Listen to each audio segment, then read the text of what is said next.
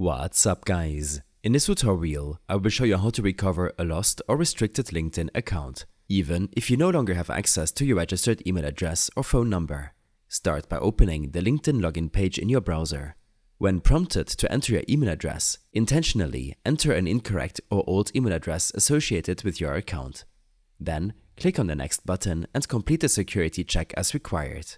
Since you won't receive any verification code due to the incorrect or inaccessible email, you now see an option labeled Can't access this email address. Click on that. This takes you to a support page where LinkedIn begins their manual account recovery process. You will be asked to scan a QR code with your mobile phone. Open your phone's camera or QR scanner app and scan the QR code displayed on your screen. This will open a secure form in your browser where you'll be prompted to enter a new email address. This is the email LinkedIn will contact you and potentially send recovery instructions. Type the new email and confirm it by entering it again. Optionally, if you remember your LinkedIn profile URL, paste it in the designated field. Including the URL helps LinkedIn quickly identify your account. Click on Continue and then select your country from the list and proceed by clicking Continue again.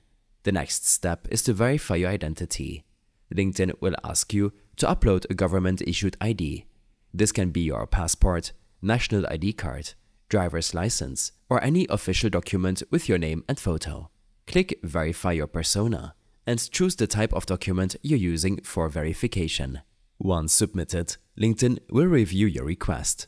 If your details match their records, they will send login instructions or recovery information to the new email address you provided.